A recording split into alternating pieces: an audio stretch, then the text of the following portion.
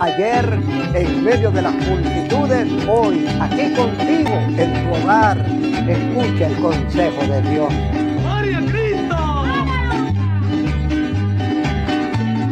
En Juan capítulo 7, versículo 7, Jesucristo le dijo a sus hermanos, hermanos carnales, hijos de María y de José, eran hermanos por parte de madre.